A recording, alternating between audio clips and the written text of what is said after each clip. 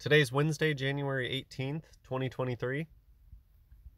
And I'm going to continue reading from Ecclesiastes. And first, I'll summarize or point out the, the things that stuck out to me from chapter 4 before I read uh, from chapter 5. And so, from chapter 4, the what stuck out to me was when when the author mentions no comforter. And to me, that immediately makes me think of the Holy Ghost the Holy Ghost is the comforter. So it's just one of those instances where the Bible has a lot of instances where people people are talking about future events or they're talking about things that they don't necessarily know about, but in an inspired way. And so this could be one of those instances. I don't know. I don't know the first instance in the Bible where the Holy Ghost is referred to as the comforter. But there all are a lot of connections in the Bible where somebody doesn't even really know what they're talking about specifically, but they're alluding to something more meaningful than they might originally think when writing it. I'm not sure if this is an instance of that. I, again, I don't know the first time that the Holy Ghost is said to be the comforter. But that's what I read in, in chapter 4 when when the author is mentioning that there's no comforter. It's like the they didn't have the Holy Spirit to comfort them. And so continuing on in that chapter, there's talk of power and oppressors, and we still have this power play dynamic here on earth. The people people who have the power oppress the people that are underneath them. We're still we still see that today.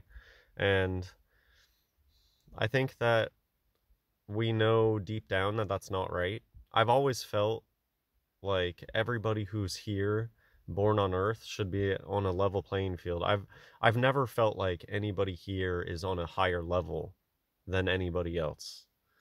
And that's obviously not how the world works here. There it's all about power play, who who has the upper hand, people always trying to get the upper hand with whatever earthly power they have. But deep down inside, I've always known that nobody here has authority over another human being in that way. Like I'm I'm better than you. I I can tell you what to do. Or I know I know better than you know, so you have to submit to me. I've just always known that uh, we as individuals are all on the same level.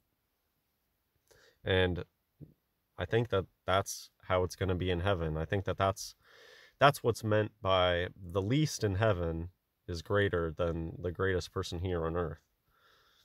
So, uh, one, some other things. Oh, okay. In chapter four, um, it's talked about folding your hands together and eating your own flesh. I wonder that's where they get the idea for Ouroboros. And since that was being talked about in the section where it's talking about work, I'm I'm guessing that's talking about the type of people who don't don't lift a finger themselves to do anything and they're just like these ravenous creatures. They they won't do anything themselves and they have their hands folded and they're just gnawing at themselves. Uh I don't know, some interesting imagery, but it's talking about a certain type of people.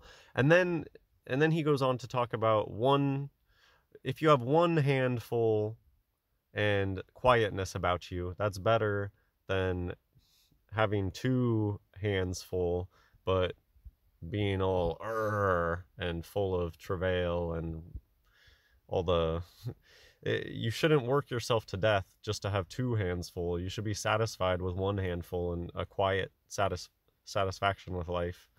And I think that's obvious. I think we all know those people where they they could have retired 20 years ago, but you watch them walk around their house and they're still saving. They'll like reuse every trash bag and they pinching pennies left and right and always working.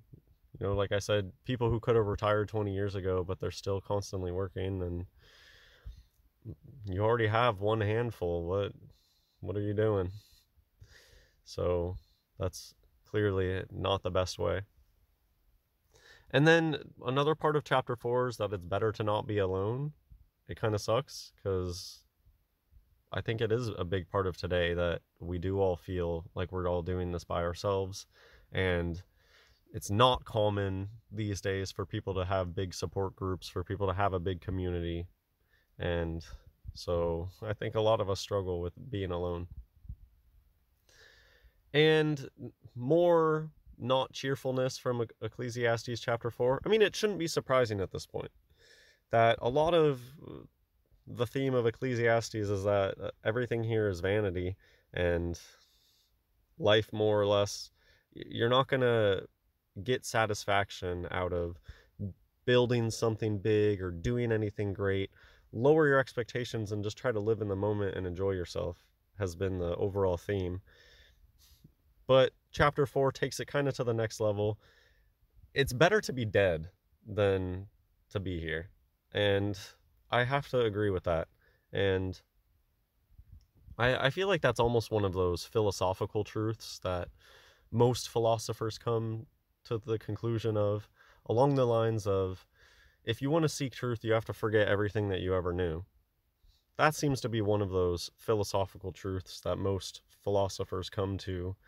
Yeah, you're not going to just be handed truth here. You need to clean slate, start from the ground up if you're going to find truth here. Uh, and another one seems to be that life ultimately sucks here and is painful and it's better to just be dead. Not in a supporting suicide way whatsoever. Notice that in the Bible, like Job comes to similar conclusions. and, and it never takes a suicidal turn to it. I don't support suicide or anything like that, but life is a struggle and it is people who have already suffered through life and and they already finished all of it they are better off because we have a lot of suffering to go through so i just think it's a, a fact of life it, it is better to be dead and to have already gone through this than to be present or to still still be born and he gives the reason it's because of all the evil work yeah this place is full of evil work. That is the reason that it sucks to live here. Part of it does go to the power play, the power and the oppression thing. Most people are not in a good position here on earth. You're born into a bad situation where your life is going to not be that comfortable and where there's going to be a lot of evil people lording over you today. Back in the day, there were chances that you were born to a cool kingdom Today, with the NWO, there's no chance. You're you're screwed no matter what. And being in in America, being in USA is actually this whole recent psyop thing really should be showing people no matter how bad you think it, it is in USA, if you've been paying attention to other places, in Europe and places, I, I know that they still make people wear masks on public transit and stuff like that. And it's just you can almost see that the more the more dictatorship like a country was, the more crazy they were with all those lockdowns and things. So anyways, it's clear that everywhere on earth these days, people with power are evil and there aren't any righteous kingdoms anymore on earth. And I guess it's fitting that before the end, when the one true righteous kingdom comes down, it's just total mayhem on earth and reminds me of in Sodom how many people, uh, how many righteous people there were before God destroyed the city. There really weren't that many. Okay, uh, better to be, better to not be alone. Already talked about that. Good light, just some more wisdom it's better to have a good life as a poor person than to have a dumb meaning meaningless life as a king Mo- i feel like movies like aladdin are kind of about this idea just uh, the idea of there the ability of there to be all this excitement and greatness in just some poor person and how you know even a rich person can be bored of their life and uh, there's all sorts of tales what that probably goes back to prince and the pauper um it is yeah, it is a truth that your life your life is what you make of it and everybody's just born into a certain situation and it's up to you to make make of your life as you will. okay, so that's it for Ecclesiastes chapter 4. Um let's read chapter 5 and that'll be it for for this day. Keep thy foot when thou goest to the house of God, and be more ready to hear than to give the sacrifice of fools, for they consider not that they do evil. Be not rash with thy mouth, and let not thine heart be hasty to utter anything before God. For God is in heaven, and thou upon earth. Therefore let thy words be few. For a dream cometh through the multitude of business, and a fool's voice is known by multitude of words. When thou vowest a vow unto God, defer not to pay it, for he hath no pleasure in fools. Pay that which thou hast vowed. Better is it that thou shouldst not vow, than that thou shouldst vow and not pay. Suffer not thy mouth to cause thy flesh to sin. Neither say thou before the angel that it was an error, Wherefore should God be angry at thy voice, and destroy the work of thine hands? For in the multitude of dreams and many words there are also diverse vanities, but fear thou God. If thou seest the oppression of the poor, and violent perverting of judgment and justice in a province, marvel not at the matter, for he that is higher than the highest regardeth, and there be higher than they. Moreover, the profit of the earth is for all the king himself is served by the field. He that loveth silver shall not be satisfied with silver, nor he that loveth abundance with increase. This is also vanity. When goods increase, they are increased that eat them. And what good is there to the owners thereof, saving the beholding of them with their eyes? The sleep of a laboring man is sweet, whether he eat little or much, but the abundance of the rich will not suffer him to sleep. There is a sore evil which I have seen under the sun, namely, riches kept for the owners thereof to their hurt. But those riches perish by evil travail, and he begetteth a son, and there is nothing in his hand.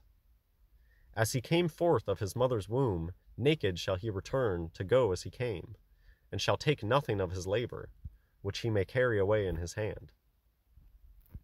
And this also is a sore evil, that in all points as he came, so shall he go, and what profit hath he that hath labored for the wind? All his days also he eateth in darkness, and he hath much sorrow and wrath with his sickness. Behold that which I have seen. It is good and comely for one to eat and to drink, and to enjoy the good of all his labor, that he taketh under the sun all the days of his life, which God giveth him, for it is his portion. Every man also to whom God hath given riches and wealth, and hath given him power to eat thereof, and to take his portion, and to rejoice in his labor, this is the gift of God.